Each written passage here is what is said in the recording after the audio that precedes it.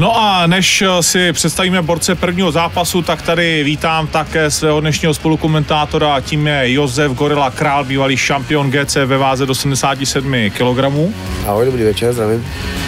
A my budeme společně sledovat nikoli v poučení fighterů, což je tradiční záležitost eh, před turnajem, ale eh, První zápas Norbert Kopin ze Slovenska a proti němu Ondřej Kovář. Oba dva začínající borci, kteří nastupují do svého prvního zápasu.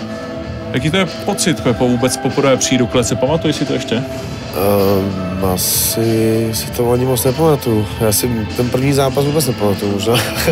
Ale tak určitě, určitě srdce buší a, a člověk moc, i když dneska ty kluci asi už taky, tím jak je to MMA trošku víc provařený, tak vědí, ale musí to být nálož, no.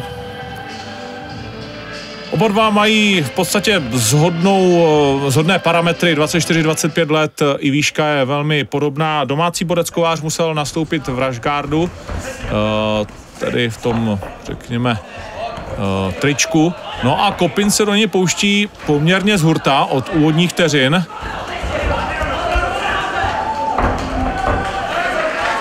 Tak, je tam vidět, nebojí, jo? je tam vidět velká převaha, alespoň eh, co se týče toho boxu, ale už ty údery jdou taky hodně ze spora, nicméně Kovář nedokáže ten tlak moc zvládat.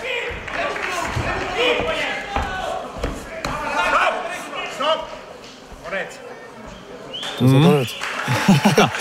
Tak to bylo hodně rychlé, ani nebylo moc co komentovat. Kopin uh, honil svého soupeře po kleci. Kovář možná chtěl jít do takedownu, ale nic z toho nedotáhl. Tam nebylo vůbec nic, jsem byl překvapený hodně. Ve svém prvním zápase Norbert Kopin. Takže Kopin, byť ten box byl neúplně učesaný, tak ten tlak byl dostatečný na to, aby porazil domácího kováře. Tak to byl velmi rychlý úvod